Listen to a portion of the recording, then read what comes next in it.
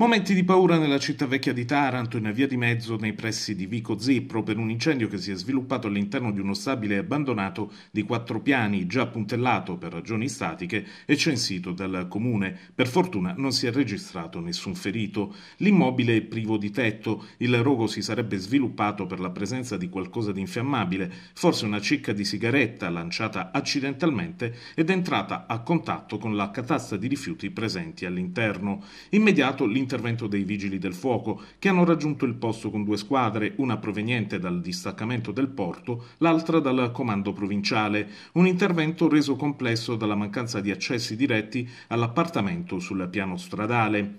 I pompieri hanno così dovuto creare un accesso nel muro per avvicinarsi alla fiamma e poter operare per lo spegnimento dell'incendio, poi domato in breve tempo. Nessun problema per gli abitanti dei palazzi vicini che hanno potuto poi tranquillamente rientrare nelle proprie abitazioni. Sul posto anche carabinieri e polizia locale per i controlli di rito e l'accertamento dei motivi che hanno causato l'episodio.